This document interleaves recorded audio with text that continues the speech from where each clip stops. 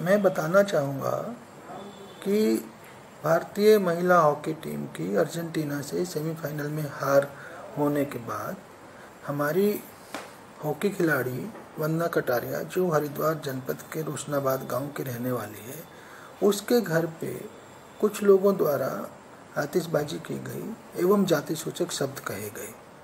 ये प्रकरण संज्ञान में आने पर तत्काल एसएसपी हरिद्वार को निर्देशित किया गया और उनके द्वारा उसमें एफआईआर दर्ज की गई।